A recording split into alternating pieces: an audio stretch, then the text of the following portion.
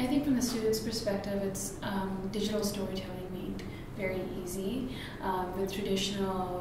programs that we have out there or apps that we have out there. Um, it's very complicated with using timelines and you know cutting videos and putting them together. Um, with Pathfinder, it makes it very easy where you just swipe what you want to um, create within your movie or presentation. Um, it also addresses like the needs of teachers. Um, I think the exact example that James uses, like a student would come in with a video of a leaf, and then they wouldn't know why the leaf was there, and a teacher didn't know why either. So this way, the teacher can follow the learning process as the child is learning or the student is learning,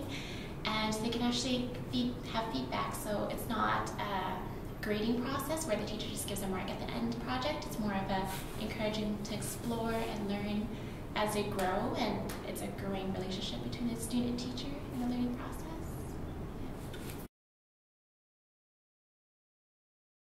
Well, so I work at Literacy Clinic, and when I help children kind of voice their thoughts and put it on paper, I notice that there's a lot of problems because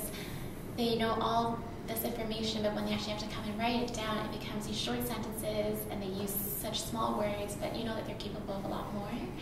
And so when I talk with them in a conversation, I feel like they share all this knowledge with me that I never would have expected and would have never came through through their writing.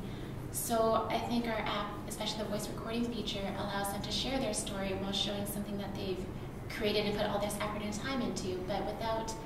them actually being able to document their learning process and be able to record what they have to say about it, it never you would never know this about them.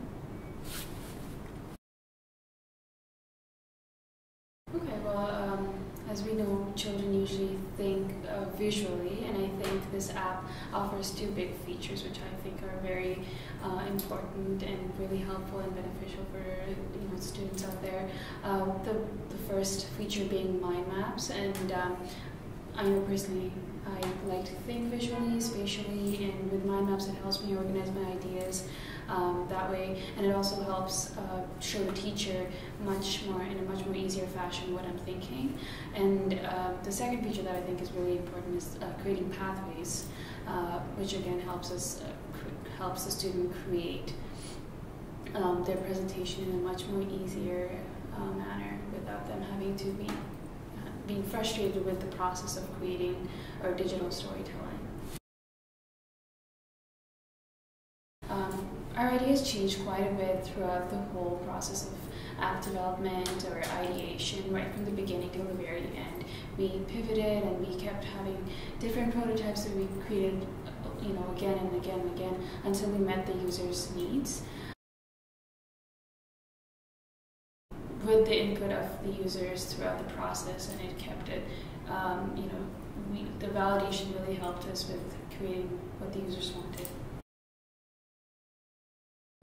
What surprised me the most about this was the amount of teamwork that went into it. Um, I did not expect it to require so many meetings and whatnot, but in the end, with all different perspectives and walks of life and different you know, talents and you know, thought processes, it, it just helped us come together and create Pathfinder. The work like really surprised me too, but I, I felt like getting the idea was only halfway, and then when we got to we really had to like stick to and like persevere through actually creating the app because it, it took like a lot of iterations to get it through and then feedback and then back and forth. It was actually it was so long that I think it, it was challenging. It, yeah, yeah, it was very challenging, which I didn't expect it to be. And we, there, I think we all went through phases of frustration, uh, you know, then being very happy with the end product, and it was just a constant cycle of emotions, efforts, and you know. But in the end, it all worked out to be really,